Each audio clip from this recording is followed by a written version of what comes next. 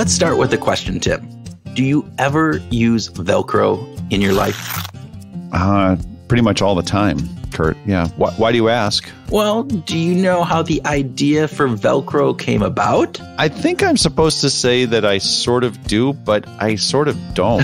um, uh, but I'm guessing that you probably have done some research or you wrote about this and you're going to, you're j- just tell me just tell me. Okay? Ah, Tim, you are always so perceptive, always so perceptive on this. All right. So in 1941, go way back to the, the world in 1941, Jorge de Mestral was taking his dog for a walk through the woods.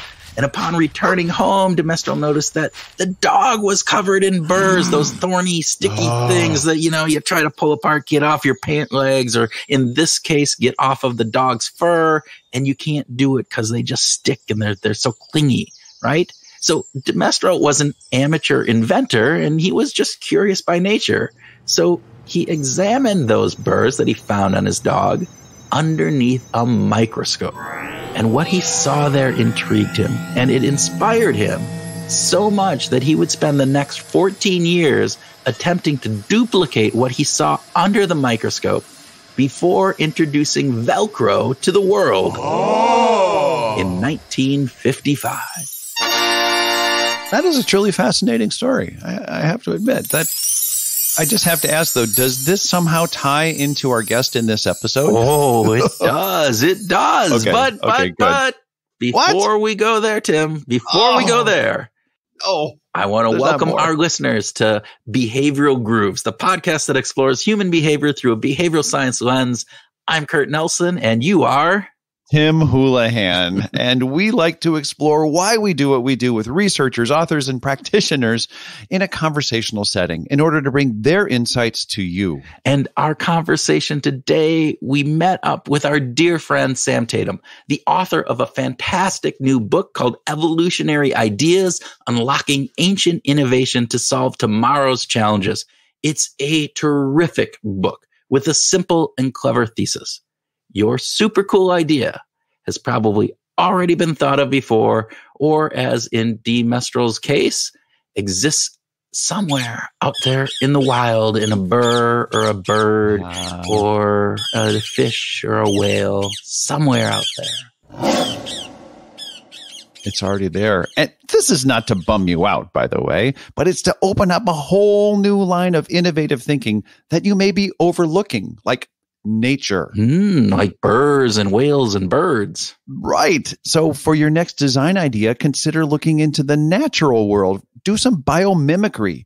And why would you do that? Well, Sam explains. Of, of course, so, so, biomimicry is a is a really fascinating field that borrows from evolved biological solutions to help solve distinctively human problems. So the assumption is that anything around in nature today has survived sort of 3.8 billion years of, of research and development. There's got to be something good about it. Sam goes on to point out terrific examples of biomimicry and the importance of language when it comes to innovating new ideas. He also introduced us to a concept developed by a Russian scientist from the Stalin era. Again, going back to those 1940s, right? There you go. An idea that creates a theory around problem solving called TRIZ. T R I Z. Triz has 40 patterns of solutions or concepts called inventive principles. And that can help innovators apply ideas that have already been invented to help them solve their problems. So, one example is the concept of nested doll. I think it's number seven. If you imagine the classic Russian nested doll, there's a, a suite of engineering solutions just like this, like a nail polish has its brush that goes in the bottle, that's a that's a nested doll. If you have a retractable tape measure, that's an example of a nested doll. If you have a, a camera lens um, that you can ex- extend and retract, that's a that's a good example of a nested doll solution. Okay, you get the idea. This is a very entertaining and a very insightful conversation with Sam, and we hope that you enjoy it. So, with that, we encourage you to sit back with a tall glass of ice cold natural biomimicry and enjoy our conversation with Sam Tatam.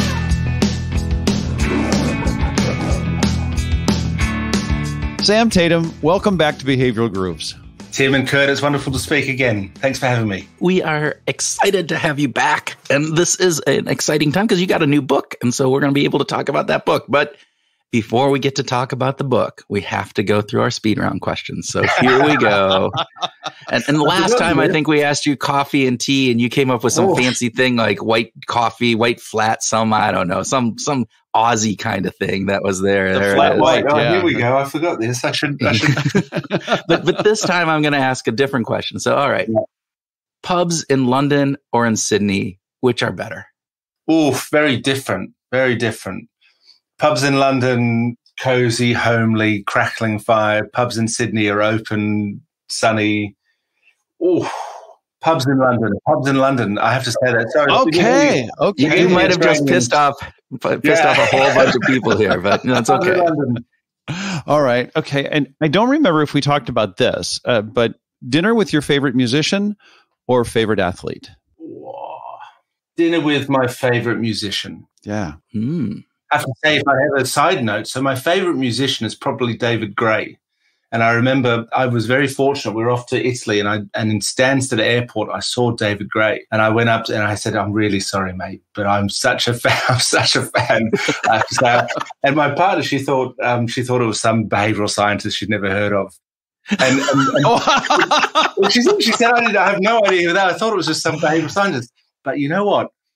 Behind me on the plane to Italy was David Gray. So on when we landed, we caught up. We had kids. It was just it's the most wonderful, life changing. So I've so I've not had dinner. I've not had dinner, but I have caught a flight to Genoa. There um, you go. So you had a conversation with him. It sounds like it wasn't just like hi. Bits and pieces. Fortunately, I used my my daughter, who was like super cute, one and a half at the time, just as a bit of bait, just to say I'm not a complete psychopath. You know, and so I made well sure done. I, I made sure I well carried done. her everywhere. And yeah. um, but he was just he just just cool stuff. These musicians they do they do wonderfully cool fun things with their sunglasses. I just remember anyway. It was a it was a wonderful wonderful thing. We were able to give him. We'd been to fortunately we'd been to where he was traveling, so we were able to give him some tips as to restaurants and things there like that. So that's so it's a bit a bit of something. But yeah, that was a life changing trip. Oh, that is that. that sounds wonderful. That would be cool too. So well, next time, you know, on the airplane when you're eating your your dinner, that prepackaged dinner, you can sit next to David and have that conversation dinner. There you go. See, this was yeah. on a podcast that I heard. All right. What does a canary in a coal mine have in common with Van Halen? Great question. so now we're moving into elements of the book, which is wonderful. And to really both are signals, both are, are great signals of, of trustworthiness. And for the canary, fascinating. This is something I learned researching for the. The canary has a, an amazing sort of, it's evolved biologically to have basically get a double dose of air every time it breathes. It's, it's, um, it's typically sort of originates from higher altitude areas, so it needs to sort of double dose its oxygen. Um, but because of this, actually, it can be a really helpful warning signal for poisonous gas and because of its size and because of its sort of effective double dosing of the air around it. If there's something poisonous, the canary is typically the one to go down first. So it's been used in mines past as a really valuable signal of unobservable characteristics of an environment. And the same thing occurred for, for Van Halen, although it's sort of not a naturally evolved solution. It's a psychological no. solution. They bred their own canary, right? So Van Halen to ensure the, the trustworthiness of the production team setting up their performances and tuning their guitars. They created on their rider, which is sort of the contract for the production team, a contract, um, a, sort of a no brown M and M's clause. So they asked for a bowl of M and M's to be in their in their green room with all the brown M and M's picked out of it. So they knew if they if they went backstage, if there was a bowl of M and M's with brown M and M's, then they had reason to check everything else in the lineup. If you've got brown M and M's, then there's a high chance that that guitar that's meant to be a, an A minor is actually a, a B flat. Both are, are, wonderful signals to help us to see unobservable traits around us. I thought it was going to be David Lee Roth and, you know, had eaten a canary at one point, kind of like uh, Ozzy Osbourne had, had done. There is an Ozzy Osbourne in there somewhere. Yeah, there's, there's a You know, but that's a much better story that you told. There you go. There's, so. a, there's a Bats and Ozzy story I'm sure that needs to be woven in there somewhere. I have to, I just have to ask, I, I always knew about the canary in the coal mine. I shouldn't say always, but for many years I've known about the canary in the coal mine, but had no idea about the origin of it. And this double dose of oxygen was fascinating. Yeah. This idea that it's because they're ingesting oxygen faster at a higher rate is what kind of makes them more susceptible. I found it fascinating. Uh, similarly, I, I, I, knew about the canary in the coal mine, but I, and and but I didn't realize why they were such an effective bird for, for that for that yeah. outcome. Not just sort of yeah. a, you couldn't necessarily just take a mouse down there. So again, and, and this is a wonderful element of, of sitting down and looking to research something like a, a book is you're you're really forced to go deep in some things that I'd not explored before. It was wonderful. Yeah, fantastic. Okay, we are plowing through the speed round right now. And with our last speed round question, will hearing a scratch at the end of a song make you think less of the entire song. Hearing a scratch at the end of song can make us think less of the entire experience, which is an interesting conundrum. It's a it's a Daniel Kahneman conundrum. Sort of imagine that you're sitting there listening to minutes of orchestral glory on a gramophone, and someone comes and scratches the scratches the, the disc. We assume, or we often say, this ruined the entire experience, but in actual fact, we we're blissfully enjoying the first few minutes. I mean, so we had the enjoyment. The enjoyment was in the can. What does influence us is our memory of the experience. So Kahneman speaks to this as the difference between our experiencing self, so the, the self that's enjoying every minute, every moment, and the remembering self. And in actual fact, when we look at what encourages people to attend a second time or what dictates the story, the narrative of our experience, tends to be our remembering self more so than our experiencing self. Right. So we're taking this from the book, Evolutionary Ideas, and give us the evolutionary pitch on this. What about this particular tendency is important from an evolutionary perspective? With respect to remembering self. Yeah. And so there's a there's a few things with respect to uh, the memory of whether or not a berry was poisonous or whether or not a certain patch of, of, of food is, is worth re- revisiting. I think that's that's the, the longer term sort of impact, I think, of the remembering self and the experiencing self. Um, but certainly we, we explore elements like the peak end effect, which is related. So we tend to evaluate experiences based on their peak, positive or negative, and, and how they tend to end. And, and similarly, these are sort of the moments that, that matter if it was a horrific experience or if it ended well. We can always have wonderful dinners that leave us sick. I mean, um, then we tend not to go back to that sushi restaurant. Or I, I, I, write in the book. I mean, there are there are very few sort of endorsements of the first few nights aboard the Titanic. I mean, it doesn't, it doesn't really matter. It doesn't matter as much. The first couple of meals were wonderful.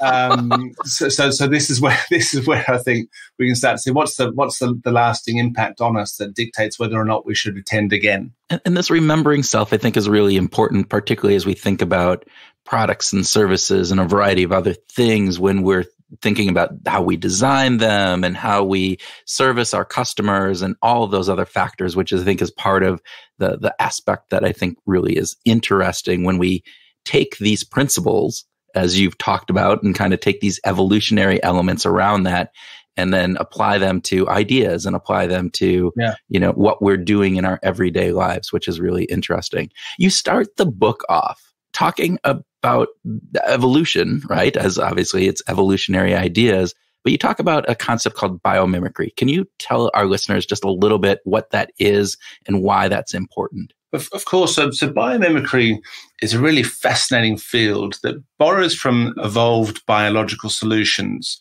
to help solve distinctively human problems. So the assumption is that anything around in nature today has survived sort of 3.8 billion years of, of research and development. There's got to be something good about it. yeah. would think so. Yeah. You would think. I mean, even if it's the smallest element, it's it's it's managed to survive, and, and those that, that haven't have sort of exited the gene pool. So, when looking to solve challenges, actually, instead of starting from a blank slate or, or, or seeking to conjure something new, maybe we should look to nature to see how that's naturally been solved by evolutionary processes, um, by which to address our own challenge.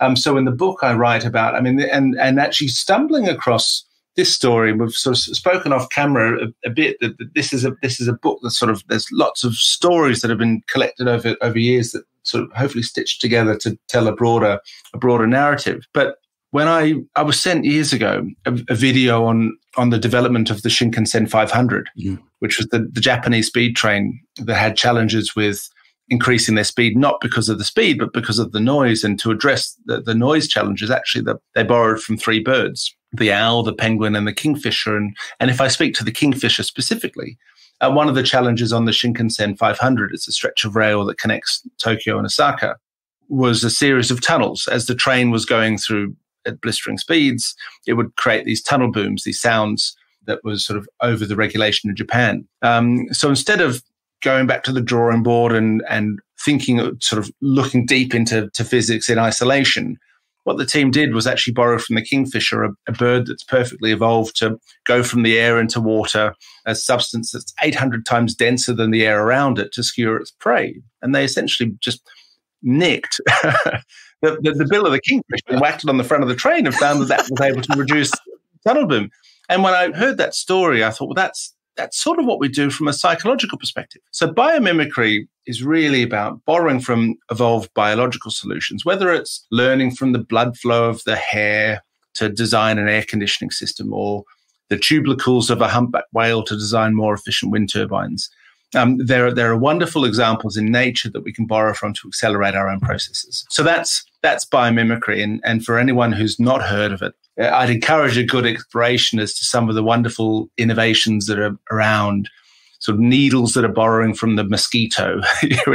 uh, these are just wherever your brain can go. Chances are there's something in the natural world that can accelerate that innovation. It's a great insight to uh, to challenge, uh, and you you talk about problem solvers in the book, right? You talk about you know problem solvers could use this kind of stuff, and I'm wondering if as you were doing research for the book, because you've certainly started with a foundation of experiences, observations, stories that, as you said, you've stitched together. Were there any that were like, wow, that's really, there's something really remarkable about that particular aspect of biomimicry? That, that particular observation in nature played a really important role in the design of a, a product or a brand or, or an experience. Uh, there's one example that I think, I mean, it's entirely branded on the, the, the fact that it's a, a biomimicry solution. It's whale power. So a business, I think they're out of Canada.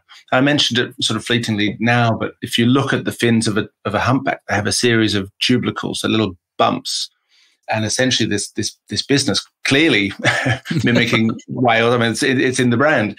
Um, they have found that they're able to produce turbines that maximize the lift and minimize drag to be more efficient simply from from from borrowing sort of almost directly from from the whale um, so that's a wonderful, really clean example. But there are a lot, I mean, from if we look at the innovation of Velcro, it's a biomimicry solution mm-hmm. that was found. I forget the name of the gentleman actually who found sort of spurs on his dog um, in his every sort of on his morning walk. That's that's often used as a lovely example of lateral creativity, um, where sort of what the solution might be anyway. Just like the sort of the Nike waffle shoe was was an innovation from the the waffle line one morning as he sort of sat down thinking how he can how Bill Bowerman can help his runners sort of run run run faster. The waffle might be the, the solution. So it's oftentimes we can see some of these in in lateral creative stimulus, but actually there's a whole field that's focused on on borrowing from these natural evolved solutions. Yeah, it's interesting because now you, you started with biomimicry and then you move into engineering. You move into the,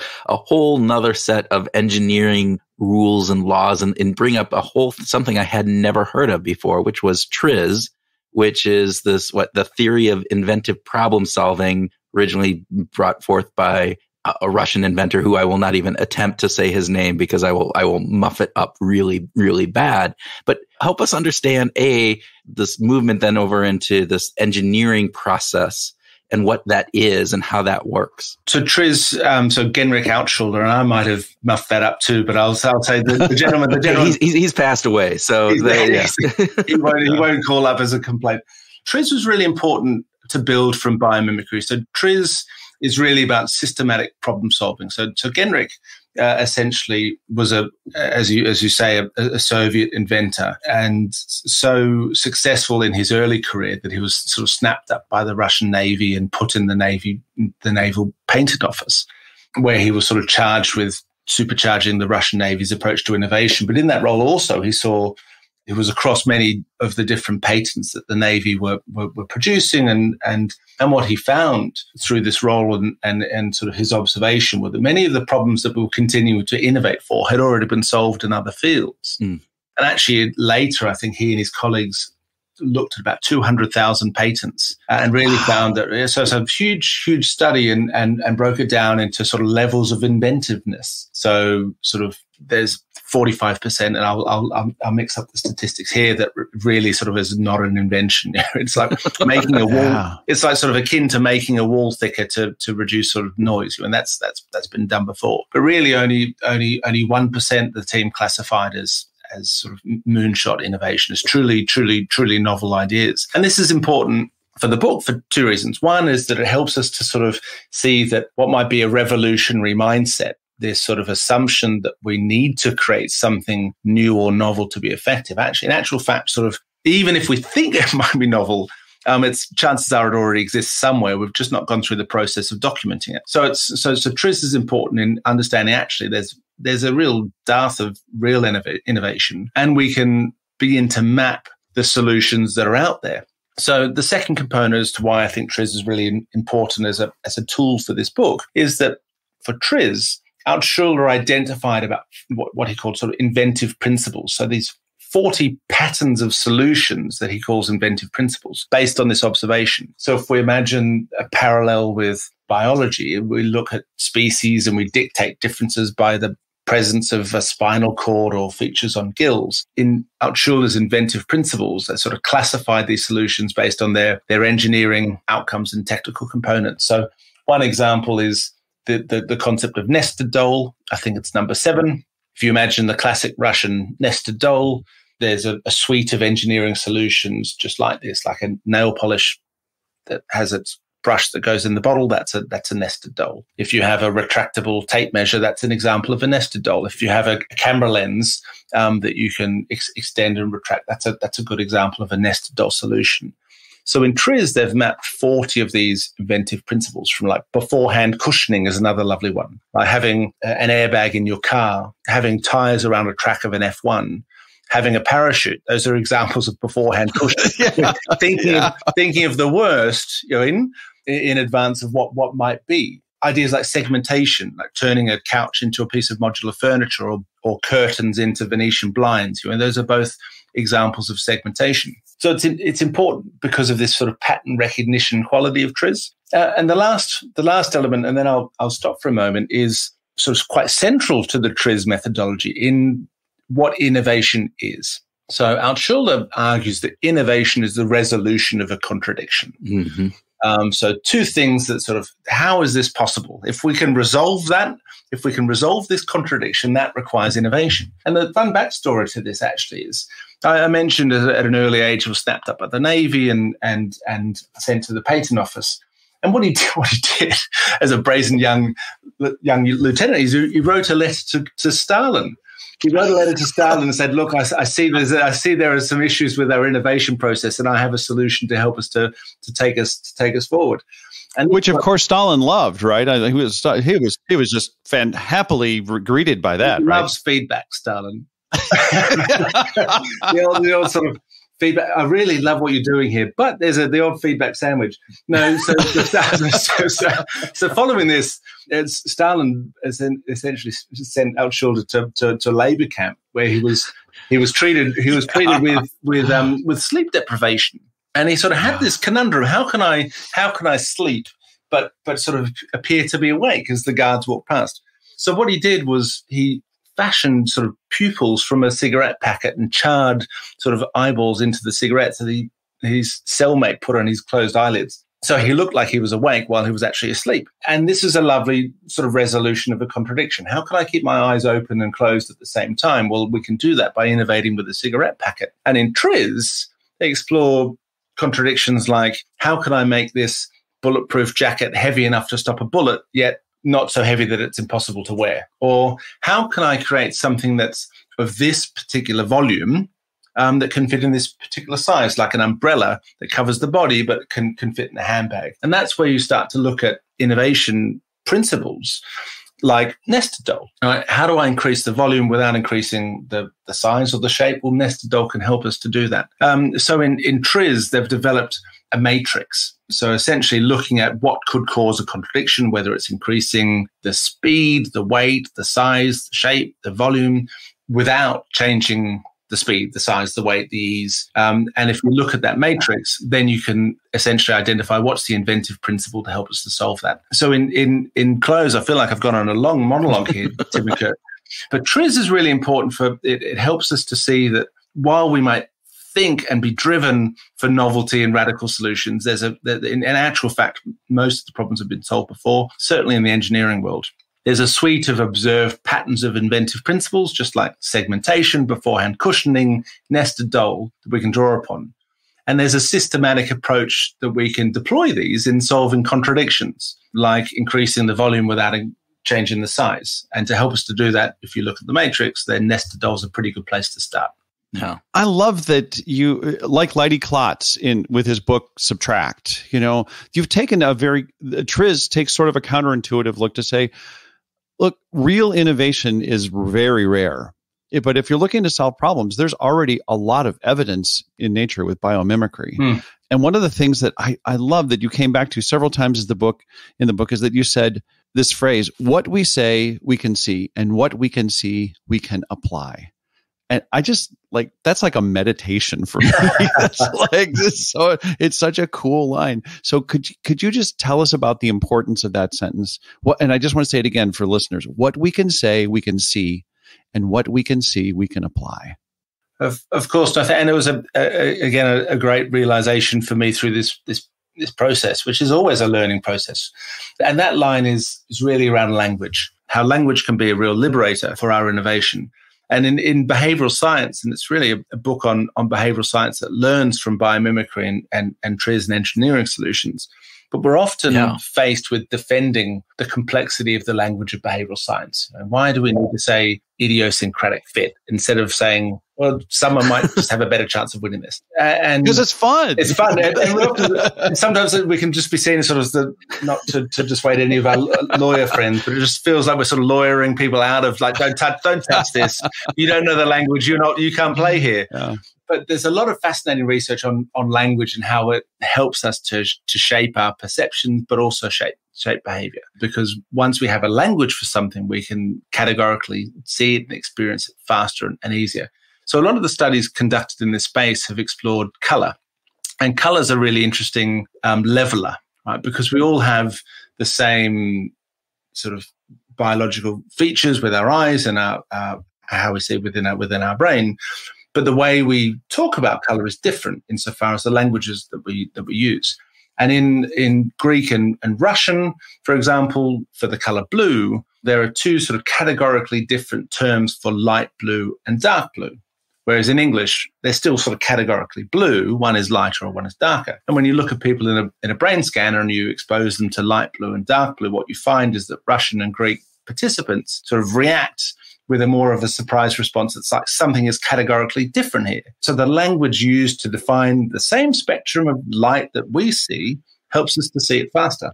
So for us, having a language to identify that that is a sunk cost or that is an social norm or this is a really wonderful sort of quantity anchor, that language can help us to see that there's something categorically different there that we should explore. Because a lot of mm-hmm. the language that we use, I think, in, in business can be quite blunt. I mean, I write in the book, how can Inuits have like 50 different words for snow? And we're still right. using what can be considered blunt languages like loyalty or surprise and delight. I mean, I just think there's there's a great excuse for a finer, richer language to help us explore that. Because once we have that language and we can embrace that language, then we see them as categorically different solutions. Just like our light blue and dark blue uh, example, we can say, actually, well, that's yeah, the outcome is loyalty, but the input is commitment, or the input is sunk cost, or the input is endowment. And endowment is slightly different to just a loss aversive. Pro- so, so you start to you can start really see the differences in in these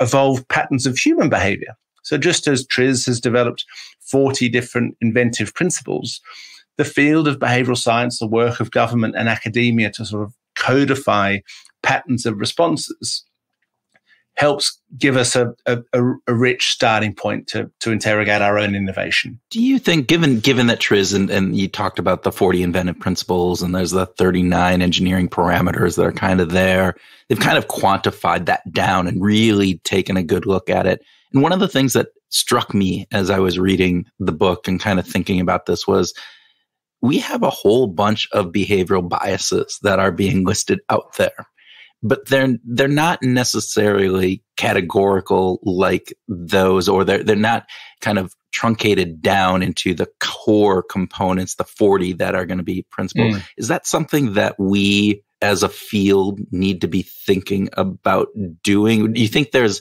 a can it be done is that something that is even possible given how this is uh, the the the field of behavioral science and, and what we're researching and and b is that then something that we should be doing if it can be done? I think it can be done with with caveats. So if we look okay. at, and, we, we'll be familiar with that wonderful Rolodex of behavioral biases, and yeah. Um, I mean, it feels like, and again, again, one of the criticisms of our field is that feels like there's a, a bias a minute, and I think there's a distinction to be made here in between what is what is a, a sort of a fallibility of, of human behavior, and what is something that we can, which which helps us to again, it's all about better understanding people and how they decide and, and act. But but there is a suite of of patterns of responses that are more in, uh, are more aligned with problem solving.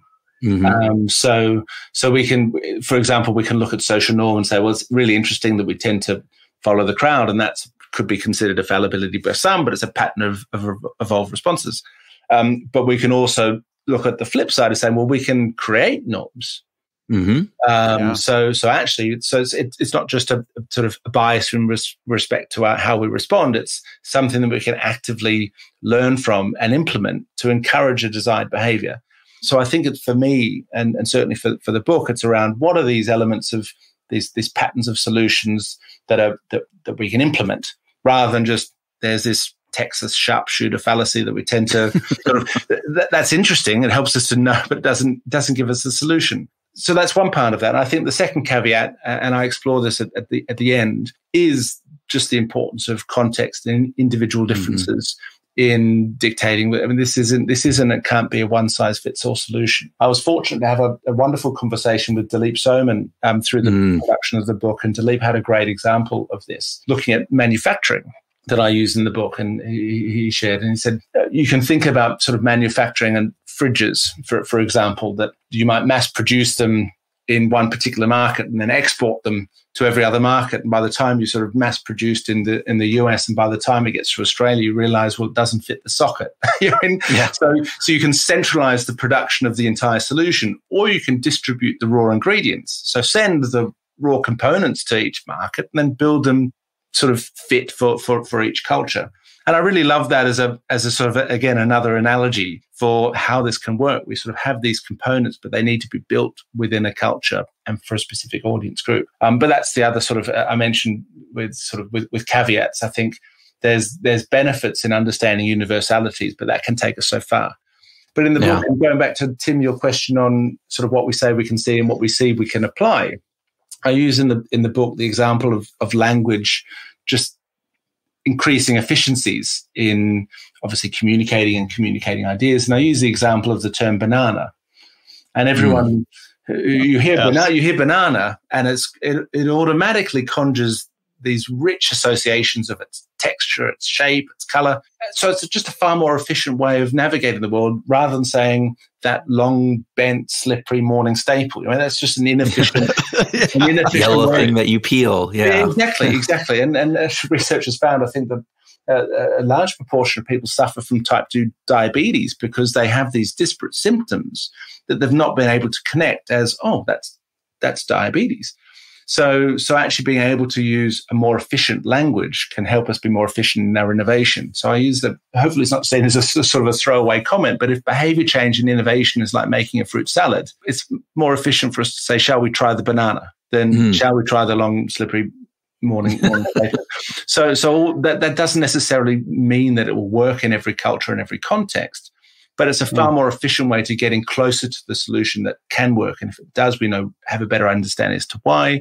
And if it doesn't, we can sort of exit the breeding program. Yeah, I love that, Sam. Thank you for expounding on that because I think it's a it's a fantastic principle. I guess it's something that I believe deeply that the business world is is lacking in the general corporate will to be more specific, to use better words.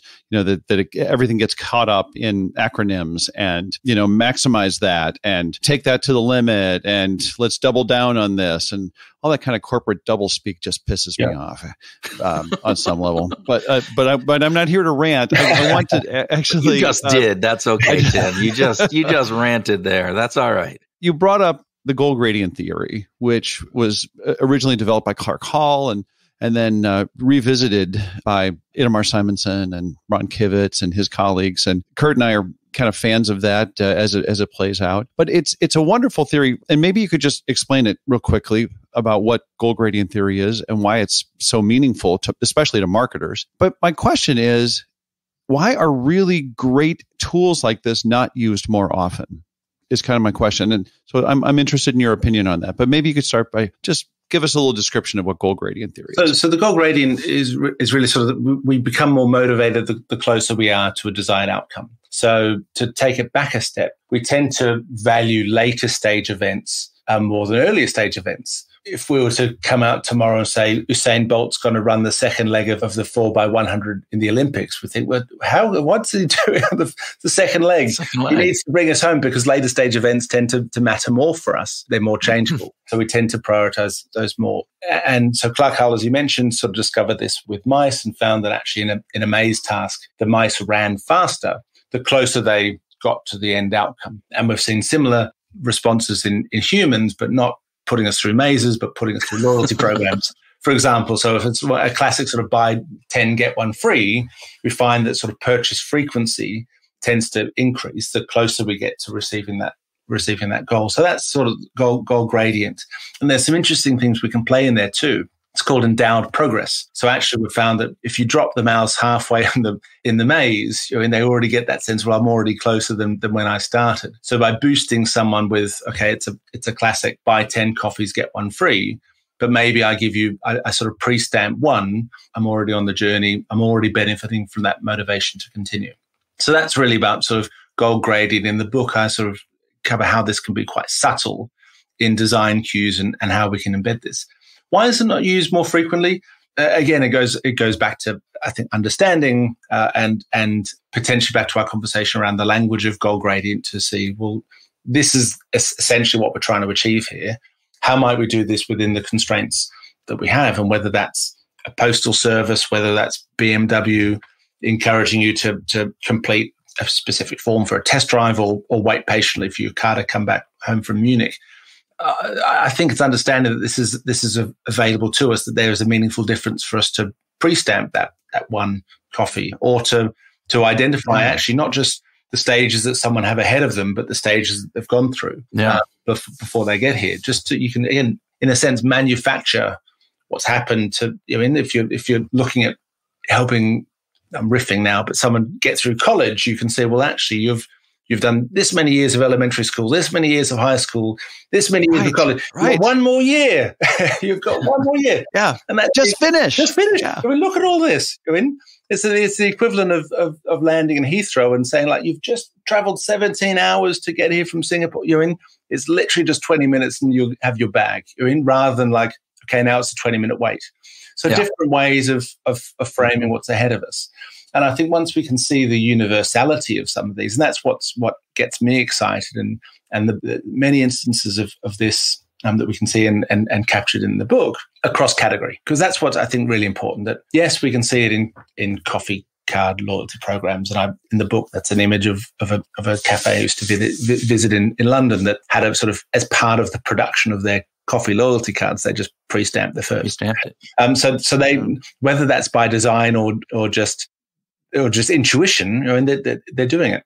But we can start to see the same thing in so many different contexts that we can borrow from those applications or borrow from those executions of goal gradient for, for the challenges of our own. Once we understand the problem that we're solving. Um, yeah. So in, in the book, for example, I, I speak to goal gradient in the psychological contradiction of, of boosting loyalty. So we, we mentioned before around these contradictions in TRIZ. How can we increase volume without increasing size? In the book, we explore five psychological contradictions. Like, how do we reinforce the truth without changing? Uh, how do we reinforce trust without changing the truth? How do we aid decisions without limiting choice? Boost loyalty without increasing compensation, enhance experiences without changing their du- du- duration, trigger action without forcing a response. These are all sort of psychological contradictions. So to enhance loyalty, I've sort of explored goal gradient as like, really, how do we get someone to complete? How do we get someone to continue to stay with us? Well, making them feel like they're on the journey, making them feel like they're closer to the outcome, we can achieve this. I like how you talk about the universality of these components, right? And the, the idea that if we can come back to some of these universal truths that are on the, on the generalizational aspect of this, not that specific piece, that then we can start thinking about applying these more like TRIZ is being applied. And, and you're thinking about, all right, so here's the problem now we know that the problem, let's identify what are the general principles that we can apply to this in order to solve it in, in a better way and, and, where do you see this going? I mean, do you, you obviously came up with those five contradictions, which I loved. And actually, I'm glad you talked about that because that was one of the questions that we skipped over at the beginning of here that we, we didn't get to. So I'm glad you came back to that. But are, are there more contradictions that we need to look at? Is there a list of 39 general, you know, principles that we overlay from this piece going forward? I think it's certainly, I mean, there are, there are other contradictions we explore a little bit, sort of increasing value without changing the price. That's, yeah. a, that's another lovely, lovely, lovely sort of contradiction.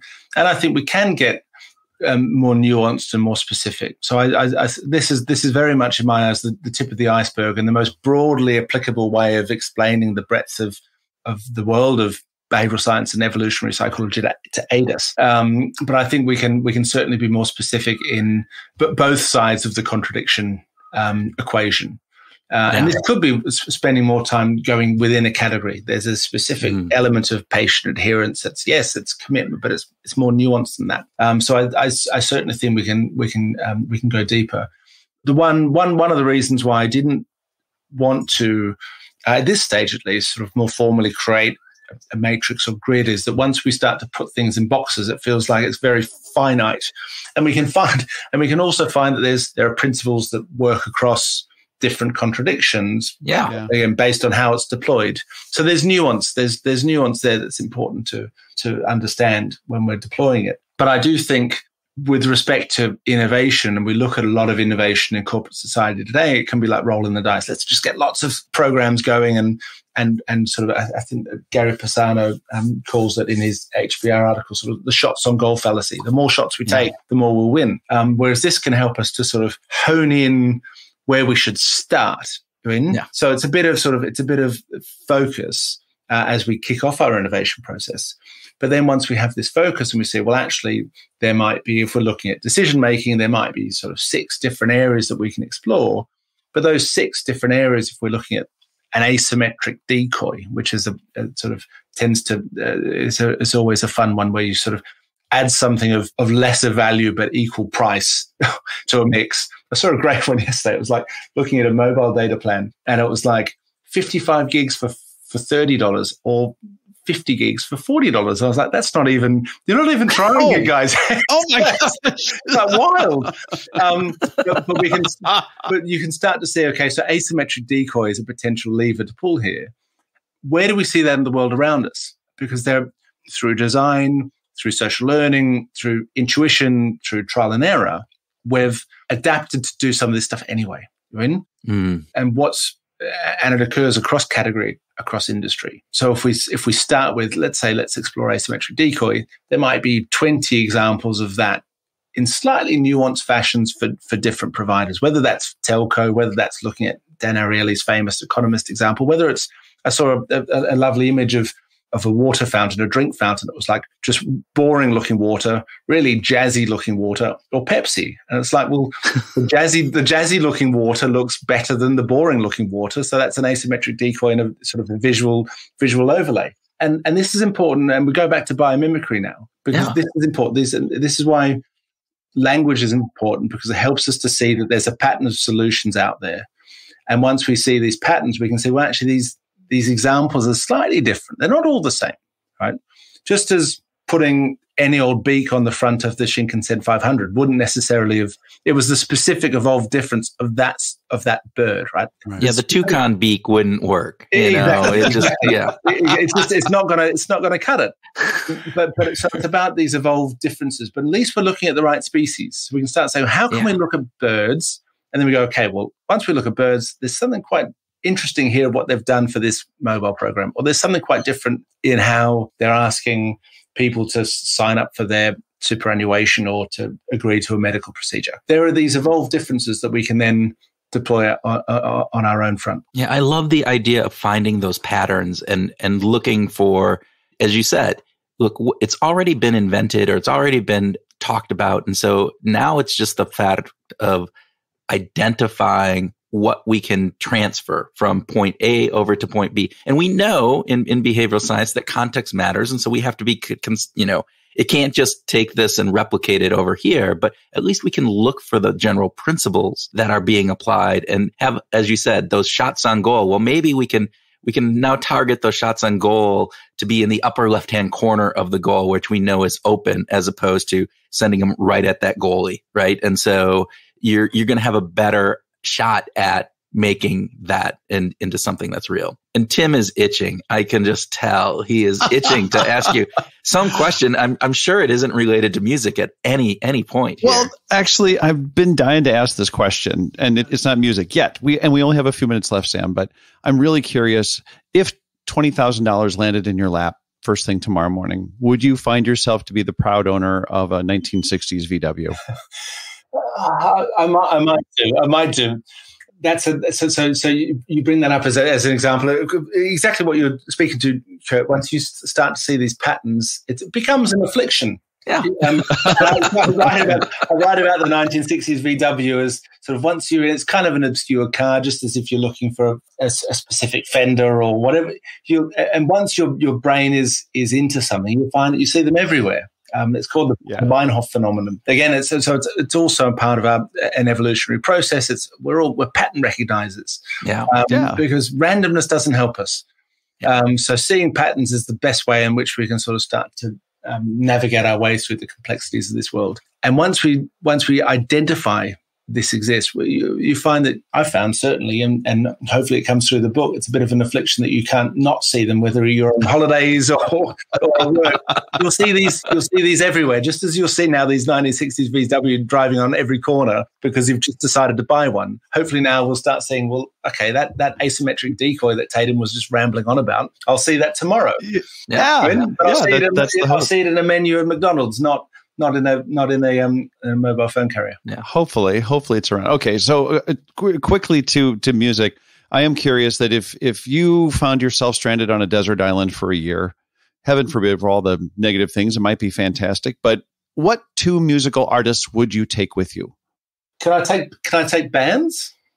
Yeah. Yeah. Yes. Yeah. Yes. Yeah. Yes. And their whole catalog. Not actually not the people. You wouldn't actually like you wouldn't take Oasis, but you would you could take all their music. Gotcha. Gotcha. Gotcha good question. So I've because I've given already given David Gray such a big. I mean, I'd, I'd have to bring my friend yeah. David. I mean, we know it, we're pretty tight. We went to Italy. Yeah, you and yeah. you and David go back. we, I mean, we've already we've already done this, Tim. But anyway, let's play with your hypothetical. Yeah. um, so I'd probably take David. There's another band. It was some some some Australian listeners. A band called Powderfinger ah, in Australia. Have you ever come across Powderfinger? Yes. So I'd probably take a. I'm, I'm in Australia at the moment, actually. It's funny, I'm back on the radio station that I always used to listen to, and Powderfingers comes up every sort of fifth song, it seems. But so that's reigniting my love of, of Powderfinger. So I'd take David and the and the yeah. band Powderfinger and their and their backlogs, um, but, yeah. but they can come. They can come. All of them. Oh, that's yeah. good. I, I discovered Powderfinger when I was in Australia for the first time in early 2000s, and it was just like I'm like, oh, these guys need to get airplay in the U.S. Yeah, and yeah, yeah. they got maybe a, a, little, a little bit, but then, then it just yeah, it, it, hasn't. But I've, I've I've loved them ever since. So all right, Sam, I have one last question, non musical question. Right? Did you ever think when you were writing a book that you would write a book that would talk about the, how big a horse's balls are? As part of the book. I'm just wondering if that was something that you had always dreamed of I doing. I didn't think I would, but I but I, I always hoped that I'd earn permission to go there. Um, whether I have that or not is to be determined. But it's I, I, part of this because I uh, I work in an a, a lovely nexus of the mad world of advertising and needingly so academic field and rigorous field of behavioral science. So I sort of, as I as I set off to achieve this, if, if someone can, if we can sort of push the envelope a little bit and bring into, bring, uh, I'm not sure if Kahneman would write about horses ball. So if I, can, I think we I, could bet we could bet on that. Bet on that one. yeah. um, and, and, and again, not putting myself certainly not putting myself there, but it's, it's it, hopefully there's a good excuse to to bring in some spaces and some ideas and some some examples that may not typically make the um make the economist.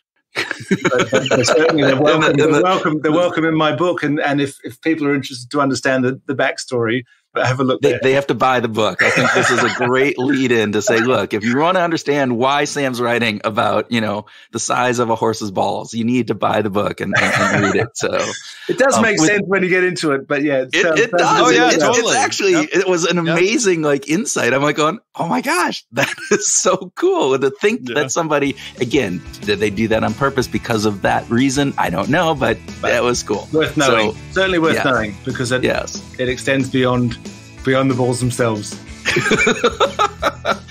oh, Sam, as always, always it is it is a pleasure talking with you. Oh, and thank you. Yeah, thank you so much. Thank you. It's wonderful to connect again, and thanks so much for having me on the program.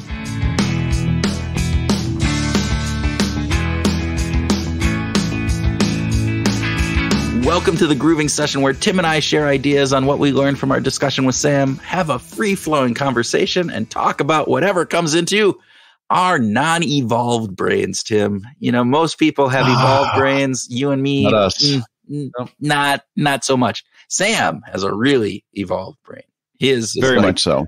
Yep. Way beyond the scope of anything that, that I could ever hope to uh, ascribe to. So, yeah, agreed. You know, we can only hope to curate the kind of information and look at the world with such clever and thoughtful viewpoints. I don't know. I'm just grateful that I'm grateful that we get to talk to him and get to talk about his cool stuff. I am really grateful. He is such a insightful person, as you mentioned, but then the ideas in this book.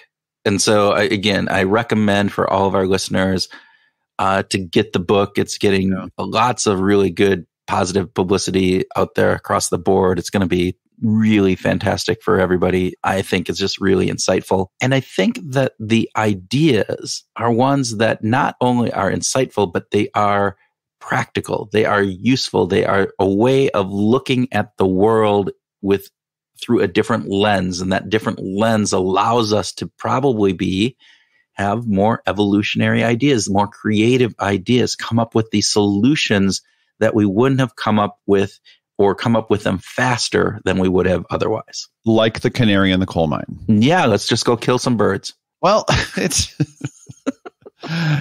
it it's you know in the hierarchy of things there was a part of it it's like well lose one bird versus lose 30 people yeah you know 30 miners i but but uh, this this idea right the idea of having a canary that can be a forewarner of yeah you know deadly gases that are in there because the canary is evolved in a different way and takes in two breaths for every breath or whatever it is. I mean, yeah. that was just crazy, right? So because they have to do- dose up on oxygen.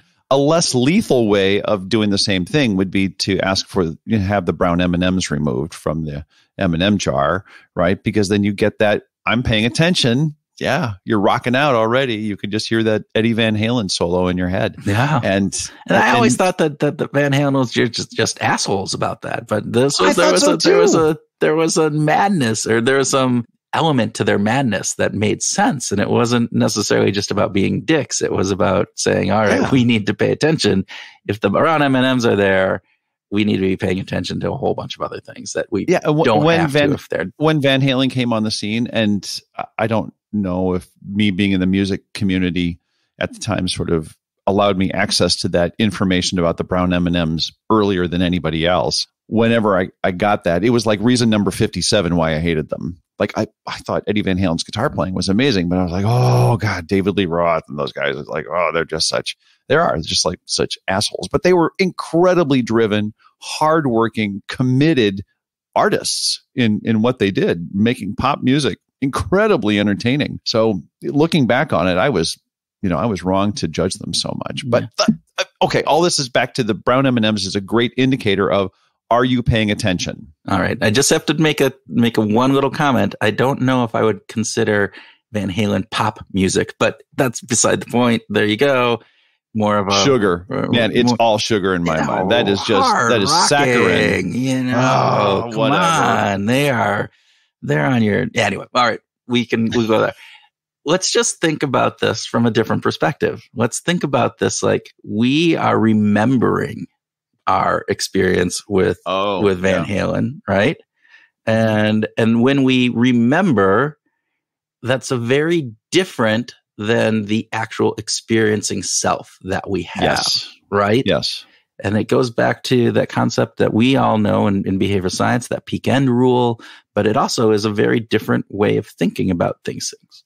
With a lovely evolutionary base, right? Wow. The, the, the basis for this is we had to remember uh, 40,000 years ago if this was a place to get healthy food or food that would kill you or make you sick we needed to remember that stuff. So, sort of the peak end rule was really important uh, you know, did somebody die or did they live when they ate this food? Because that's kind of all that mattered. Yeah. So those wonderful first three days on the Titanic never get talked about, right? You only talk about those that. really bad ending. I don't understand why, you know. Oh man. Well, that first night's dinner was awesome. Yeah. we never hear those stories. We never hear the stories about how delightful the band sounded the first night, you know, on the Titanic. No. No. but that's but, but this is a really good thing. And this is this is one of those insights again that, you know, it's an evolutionary piece in how we we do this, but I think it's really important for us to understand when we're thinking about the ideas that we have and and how are we forming them and, and doing this? Are we, are we, we're always looking back in order to inform. And that's different than how we experience things. And I think that's really key yeah. here. So, Mr. Houlihan, help me understand what biomimicry is. I know Sam did a wonderful job of explaining it, but how would you define biomimicry?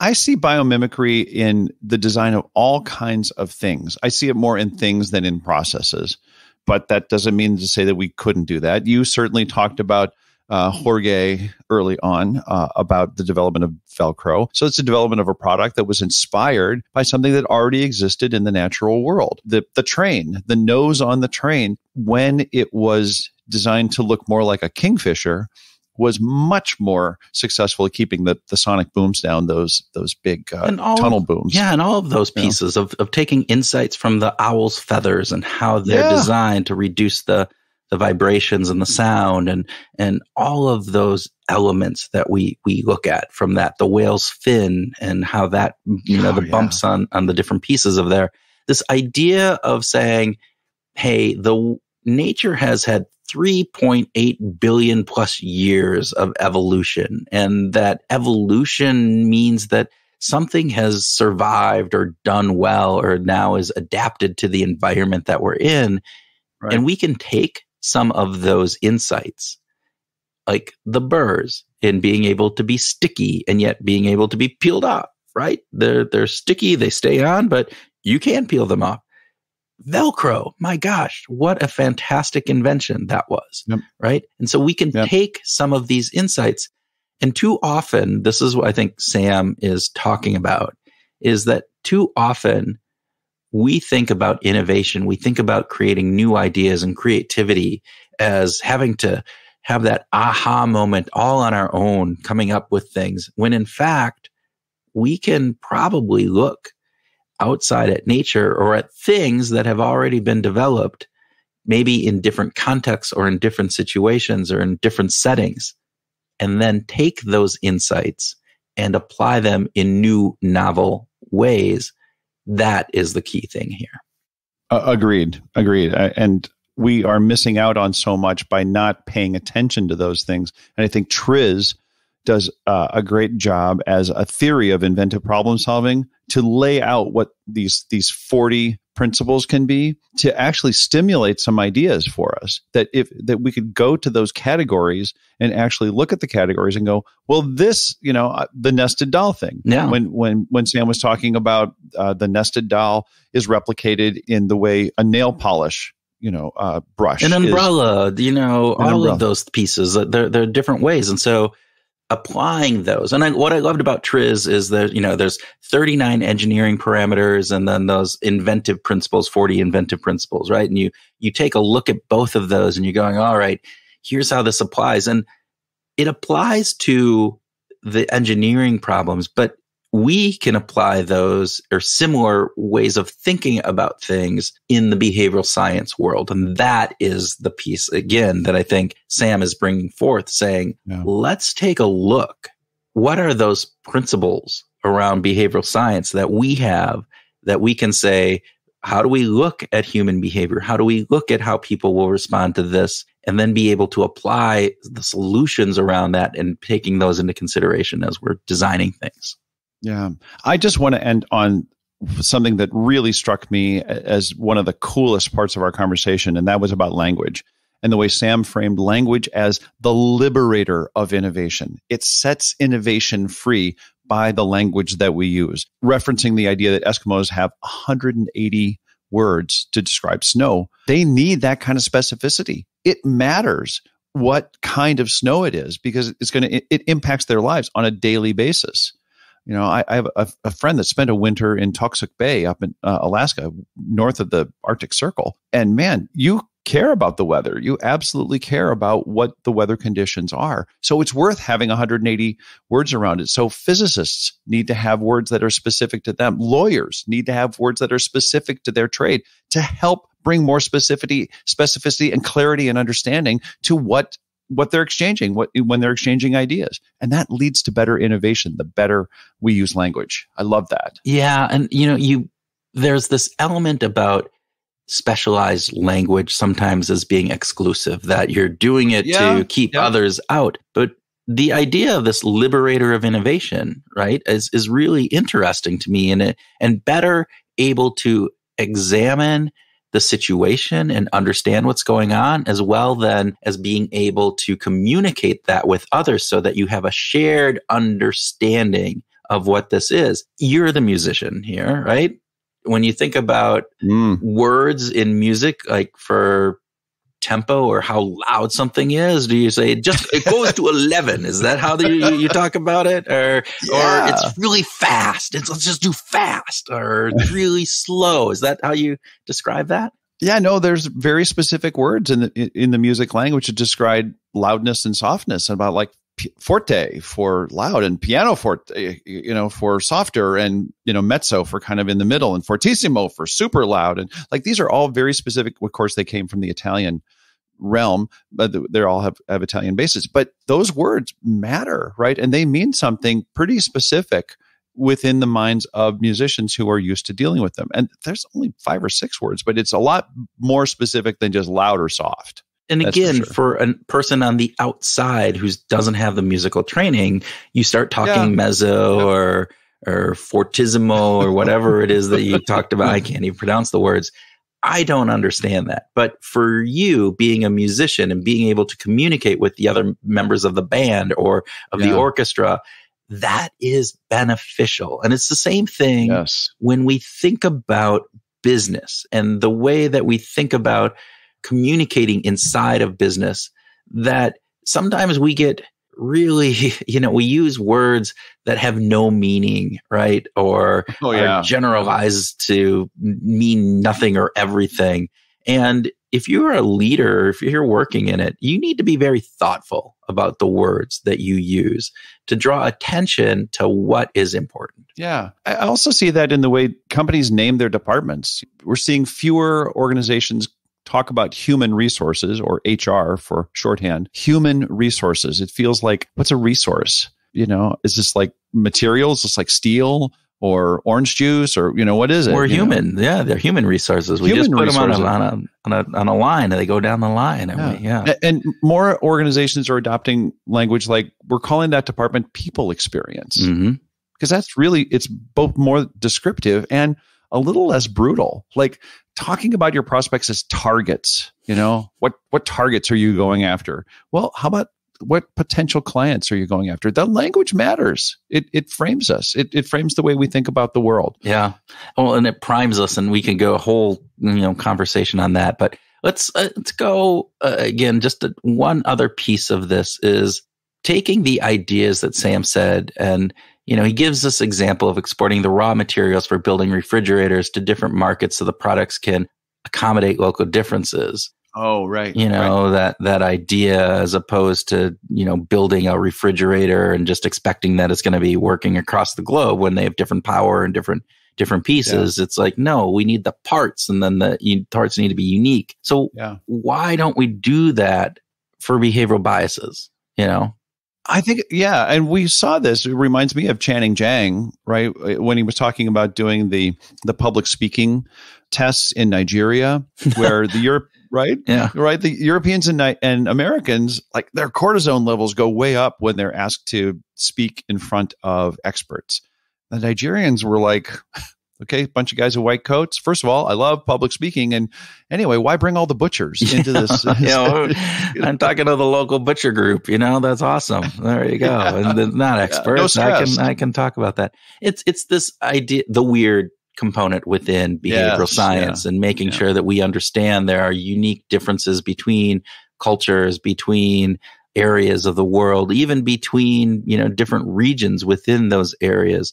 And again, as we like to say, you know, context matters. So Where did you come up with that? I don't. Wow. It's a. It's a. It's something that, that. you know. I, I'm sure it was an aha thing for me. I, I didn't hear that anywhere else, and it was just you know my natural you know IQ of Oh, geniusness course. of, coming up with something like that. I don't think I've ever heard anyone say context matters.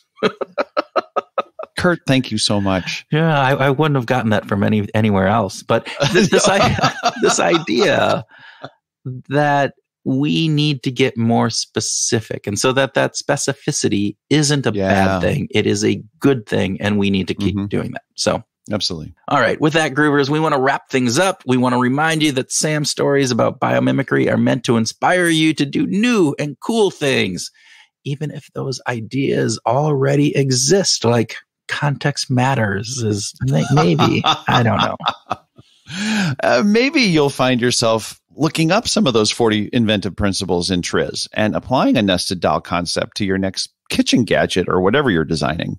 At the very least, we hope you enjoyed our conversation with Sam and that we thank you for listening to Behavioral Grooves. Yes. Thank you for listening. We have lots of cool episodes coming up, but I'm going to highlight just one and one that we have next week with the University of Chicago professor John List, who went from the chief economist at Uber to Lyft and now is, I think, the chief behavioral economist at Walmart.